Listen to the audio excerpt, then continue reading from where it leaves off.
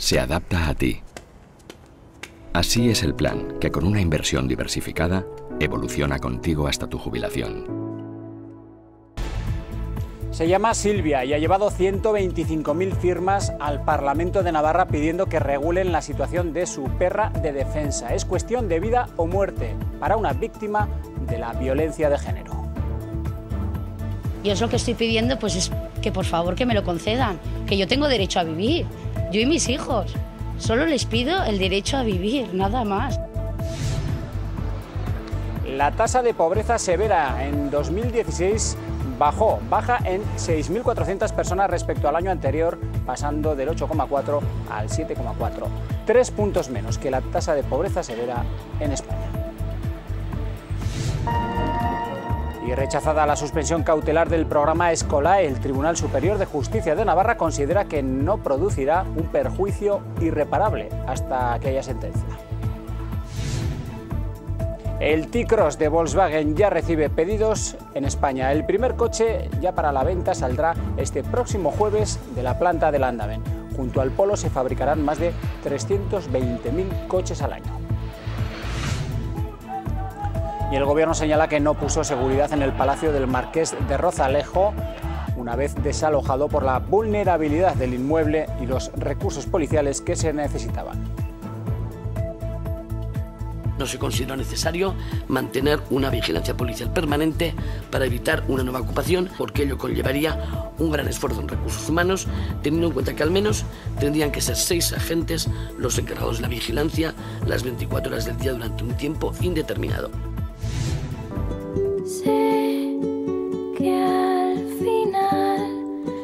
La primera canción de su primer álbum. Amaya Romero promociona ya su primer single titulado Un nuevo lugar.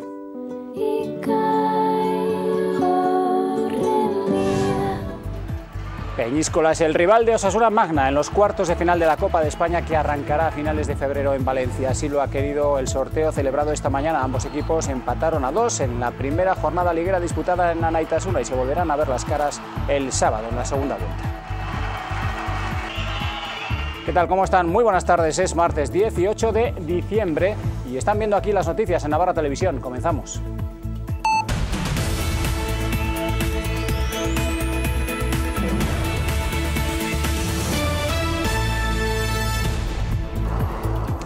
Las imágenes que centran la atención de todo un país. La Guardia Civil peinando la zona donde apareció el cuerpo sin vida de Laura Luelmo, la joven de 26 años desaparecida el pasado miércoles en el Campillo, Huelva, y cuyo cuerpo apareció con signos de violencia en esta zona que ven. Los agentes acaban de detener a un hombre, a un vecino de la localidad, al que relacionan con su muerte. Su declaración y el resultado de la autopsia parece ser determinante para conocer qué pasó. El caso de la joven Laura Luelmo ha conmocionado a todo un país. Hoy precisamente hemos conocido aquí en Navarra la historia de una víctima de la violencia de género. Ha llevado miles de firmas al Parlamento de Navarra para que se pueda regular la situación legal de su mayor protección, una perra que la acompaña a todos lados. Pasea con su por las calles de Pamplona, una perra que es para Silvia su mayor protección. Ella es una superviviente de la violencia de género, Junto con sus dos hijos lleva 20 años sufriendo maltrato físico y psicológico del que fue su pareja y padre de sus hijos. Hoy ha acudido al Parlamento junto con su perra para entregar 125.000 firmas que piden que Sugi sea reconocida como una perra de protección y pueda acudir con ella a todos los lugares públicos, al igual que ocurre con los perros lazarillo. Y es lo que estoy pidiendo, pues es que por favor que me lo concedan, que yo tengo derecho a vivir, yo y mis hijos.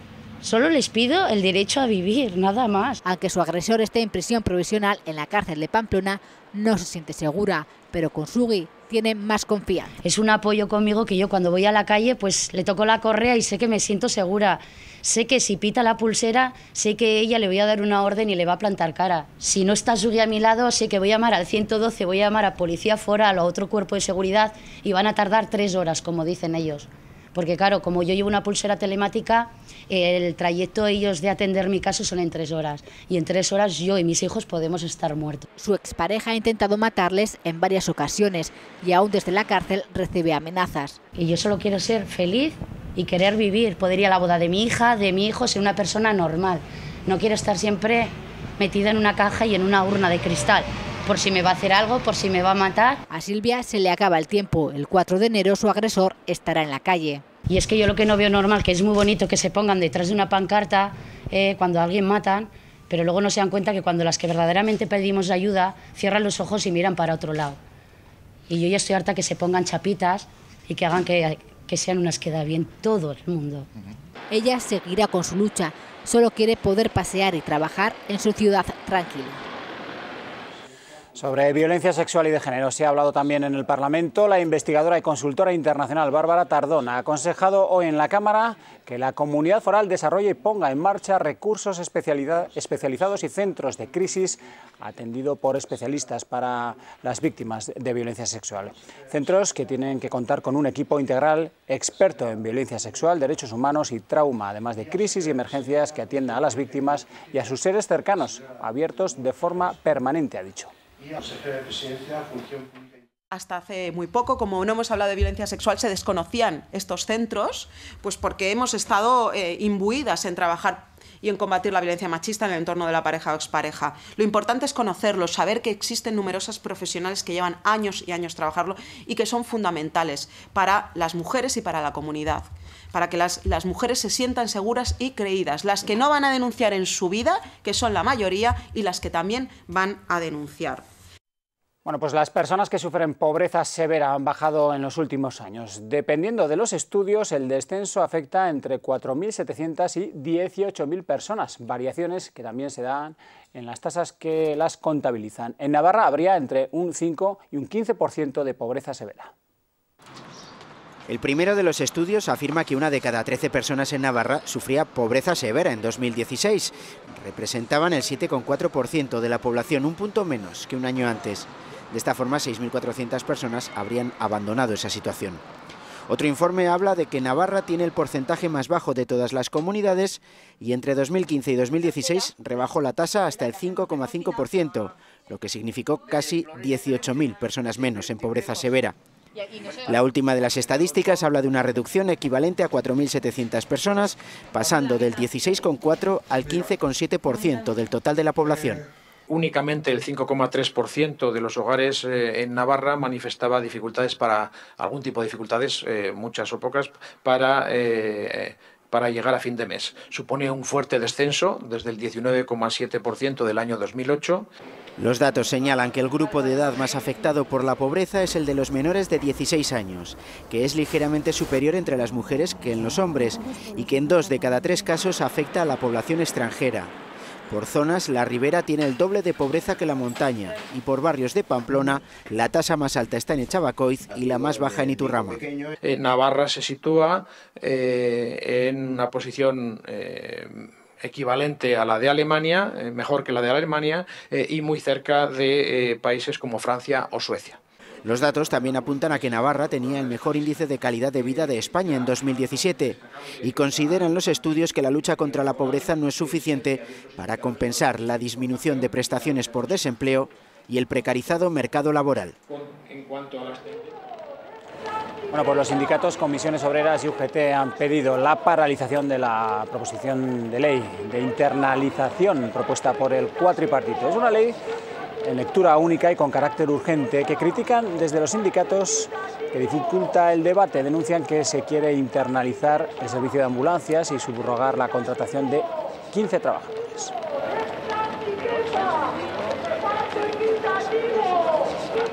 Bueno, este próximo jueves saldrá de la planta de Navarra de Volkswagen el primer T-Cross, el todocamino que ha comenzado a fabricarse ya junto al modelo Polo. Juntos van a suponer más de 320.000 coches el próximo año, la tercera producción más alta en la historia de la fábrica. Volkswagen ya recibe y acepta pedidos que llegan en España para el nuevo modelo que ha comenzado a montarse. El T-Cross, de momento, se lanza con una edición limitada a 300 unidades con el mayor equipamiento de los tres acabados que se fabricarán. Es el sub más pequeño de la marca y parte de un precio de 17.600 euros.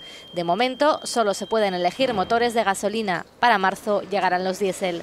Entre el T-Cross y el Polo, Volkswagen planea fabricar más de 320.000 unidades, la tercera mayor producción en la historia de la planta navarra tras los años 2010 y 2011, donde se superaron los 350 solo con el modelo Polo. Para atender la demanda, la dirección tiene previstas nuevas contrataciones. El primer cuatrimestre se esperan producir en torno a 1.400 coches diarios. También se anuncian medidas de flexibilidad a partir de abril. Y la Audiencia Nacional celebrará el 14, 15 y 16 de enero la vista sobre el recurso de apelación de los condenados por la agresión a dos guardias civiles y a sus parejas en octubre de 2016. Señalamiento que llega tras el rechazo a la recusación de tres magistrados presentada por seis de esos ocho condenados, quienes ponían en duda su imparcialidad.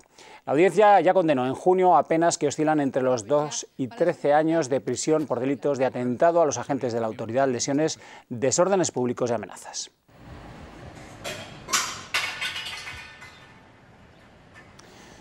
Y esta noche entrevista aquí en Navarra Televisión al delegado del Gobierno de Navarra. Nació en Milagro hace 47 años. Está diplomado en Ciencias Empresariales y es funcionario del Gobierno de Navarra. Forma parte de la Comisión Ejecutiva del PSN. Roberto Cámara entrevista cara a cara al delegado del Gobierno en Navarra, José Luis Arasti, el martes a las diez y media de la noche en Navarra Televisión. Navarra Televisión, la televisión de Navarra.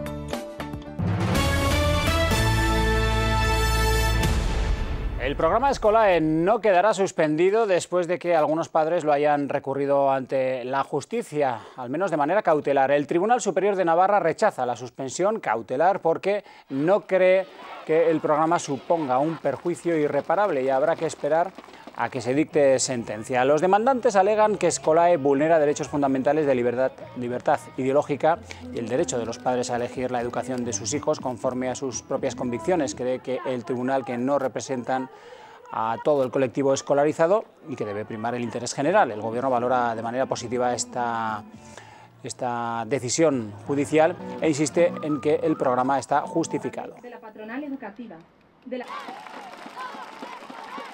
Gobierno Navarra que ha defendido su gestión sobre el desalojo y posterior ocupación de nuevo del Palacio Marqués de Rozalejo y asegura que no se desplegó seguridad para evitar una nueva entrada por las dificultades para cerrar un edificio con numerosas posibilidades de acceso.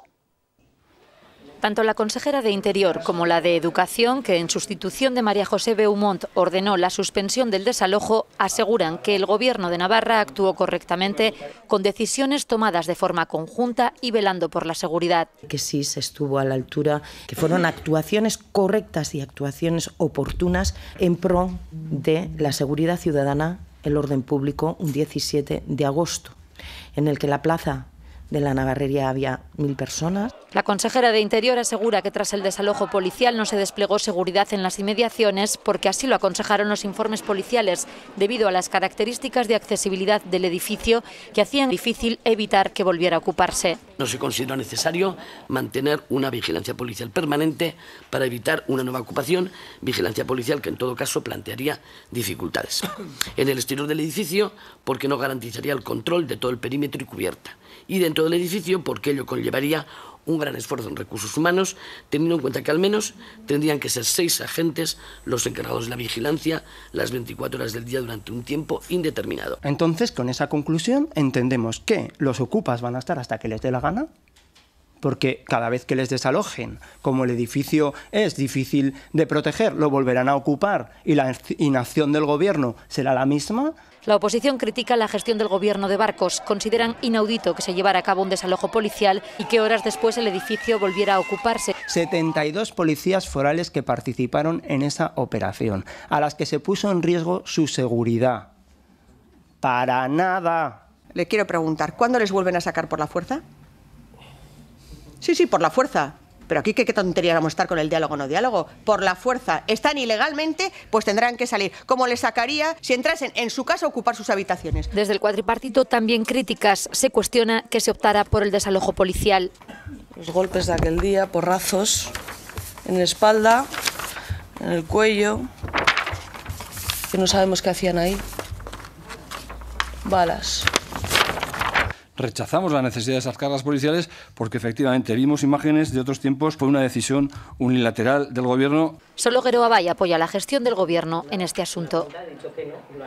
Y el Ayuntamiento de Pamplona que va a llevar a cabo la segunda fase del plan de amabilización del ensanche durante el primer semestre del próximo año. La segunda fase del plan de amabilización del primer ensanche, concretamente la correspondiente a Navas de Tolosa y Taconera, comenzará en breve, de manera que está previsto que para mayo ya esté terminada. De esta manera, las obras de urbanización definitiva incluirán carril bici, aceras más anchas, zonas verdes y espacios lúdicos. Este es, el, podríamos denominar, una especie del nodo principal donde se van a encontrar los dos grandes ejes, dos grandes corredores, este-oeste, norte-sur, donde van a tener, por lo tanto, solución a las continuidades, continuidades de carácter seguro. Esta segunda fase incluye la modificación del parterre entre la calle Taconera y el paseo Doctor Arazuri, por lo que se propone unir ambas calles por un plano inclinado y eliminar escaleras. Asimismo, se retirará la peana del que fue monumento a Sanjurjo y en su lugar se trasladará el monumento a Navarro Villoslada. El bosquecillo se convertirá en una zona lúdica por la que podrán circular bici y peatón. Desde el ayuntamiento destaca que este tipo de intervenciones implica un coste bajo y es parcialmente reversible. Esta fase costará concretamente 1,2 millones de euros. La intervención que es entre el Parlamento y, y, San Lorenzo se va a ejecutar la obra con urbanización definitiva, lo que tradicionalmente consideramos como una urbanización, y lo que es la calle Bosquecillo será una intervención táctica, que es, pues, son intervenciones de bajo costo, parcialmente reversibles, de bajo mantenimiento también, y esta experiencia de Bosquecillo nos va a servir como modelo y como patrón para, eh, como ha dicho el concejal, poder ir interviniendo en otras, en otras zonas de, de la ciudad. El consistorio destaca que desde que se implementó la primera fase del plan de amabilización se han reducido un 90% los vehículos que circulan por el ensanche y un 50% en el casco viejo, así como un aumento del 4,5% de las personas que usan el transporte urbano comarcal.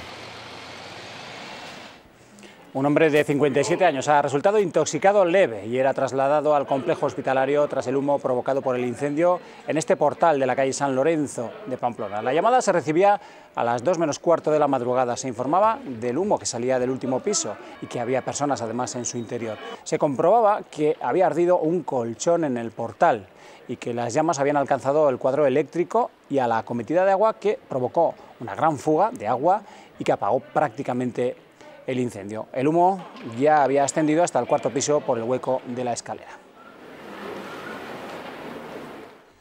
Y Policía Foral detenía a tres hombres de la Barranca Castejón y Tudela cerca de un restaurante en Tafalla con todo esto que ven en el interior del coche. Portaban entre sus pertenencias también 800 euros en metálico que no pudieron justificar. Los agentes incautaron de 30 gramos de speed y 4 de metanfetaminas. Están acusados de un presunto delito de tráfico de droga.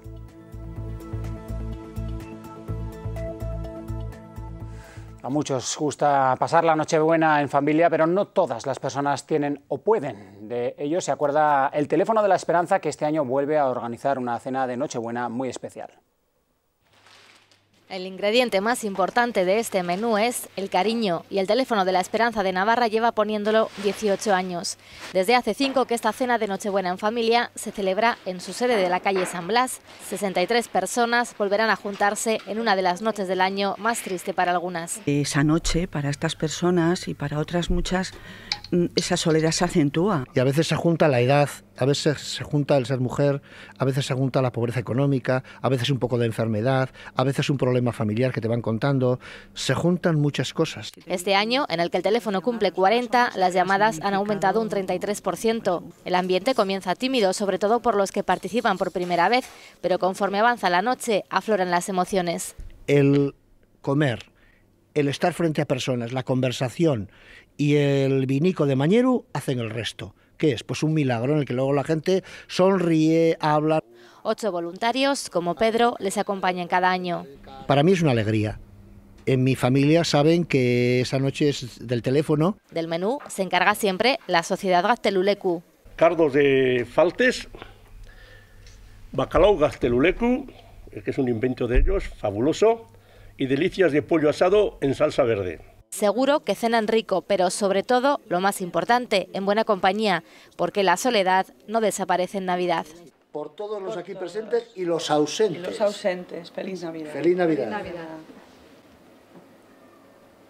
Ya ha nacido la red Explora Navarra, una nueva andadura para los espacios naturales de nuestra comunidad. Más de una treintena de ellos se han asociado en torno a esta red impulsada por Lusarnea y el Gobierno foral. Red Explora agrupará un programa de acciones y actividades que aglutinará la oferta de estos enclaves, pero es mucho más. Una nueva manera de mirar nuestros espacios naturales como paisajes vivos, creativos, comprometidos ambiental, económica y socialmente. Navarra apuesta así por un futuro asentado en la sostenibilidad del mundo rural.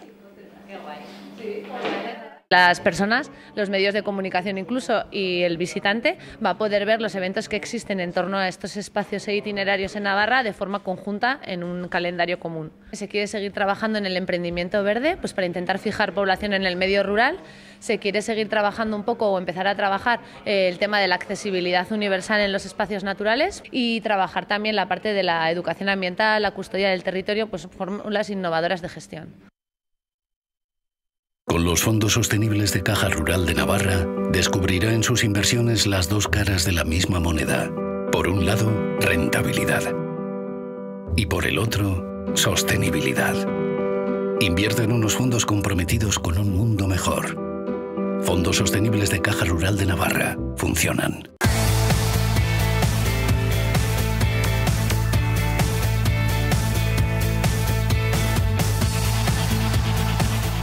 El Peñíscola es el rival de Osasuna Magna en los cuartos de final de la trigésima edición de la Copa de España que se celebra en Valencia el próximo año. Ambos equipos ya se han visto las caras esta temporada. Fue en Anaitasuna el pasado 14 de septiembre, en la primera jornada liguera. El partido finalizó con empate a dos. Peñíscola fue el equipo que impidió a Spilvidal estar en este torneo al clasificarse en octava posición, relegando a los riberos a la quinta. Doble duelo navarro-asturiano en segunda B con suerte dispar para nuestros representantes. El Tudelano al fin ganó, lo hizo 1-0 ante el filial del Sporting, mientras que Lizarra perdió en el campo de otro filial, el del Oviedo.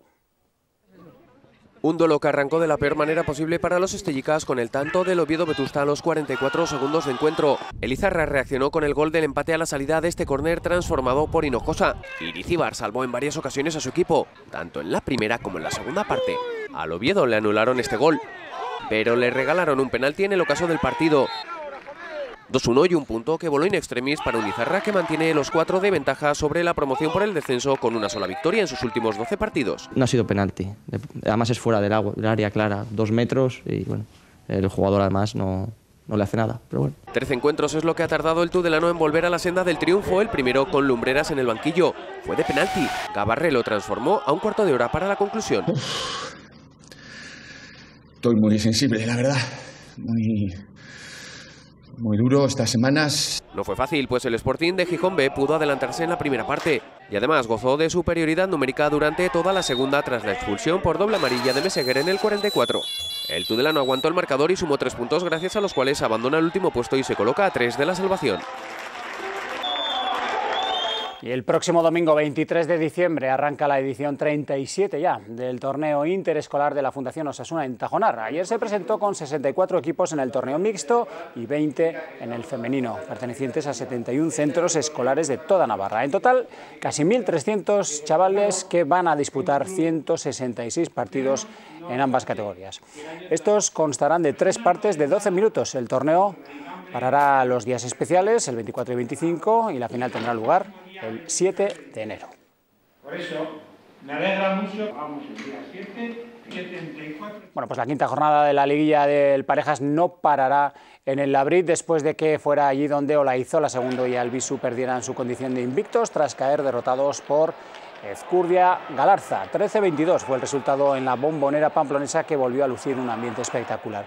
Pleno de victorias de los azules con Iribarría Zabaleta en Urrechu, Urrutu y Larumbe en San Sebastián y el Ezcano segundo rezusta en Arrigorriaga.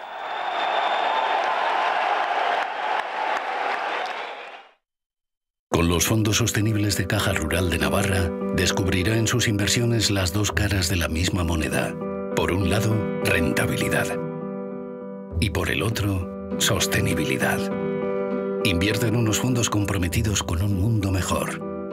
Fondos sostenibles de Caja Rural de Navarra. Funcionan.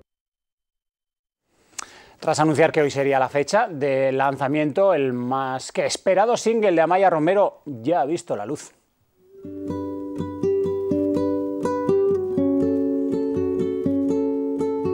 este videoclip sencillo, de poco más de minuto y medio, Amaya nos trae su canción Un Nuevo Lugar, una canción con cierto toque onírico y con base de ukelele. La expresión menos es más cobra todo su sentido con esta canción y videoclip.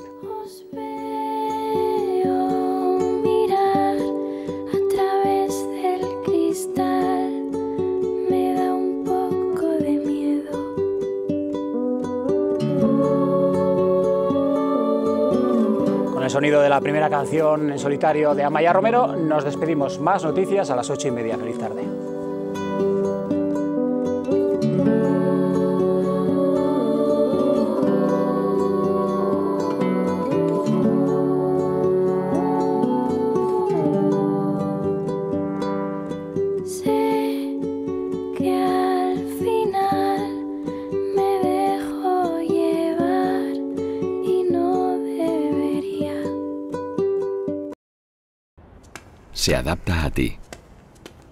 Así es el plan que con una inversión diversificada evoluciona contigo hasta tu jubilación.